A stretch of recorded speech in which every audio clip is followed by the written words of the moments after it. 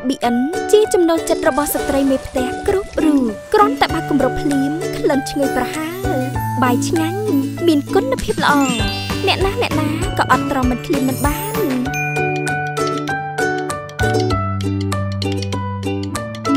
ឈ្ងុយឆ្ងាញ់ដល់ក្របចុងក្រោយនិងបង្កើនរសជាតិនៃសុភមង្គលគ្រប់គ្រាប់អង្ករឈ្ងុយឆ្ងាញ់រហូតទឹកចិត្តមិនបាន អង្ករផ្ការំដួល LBN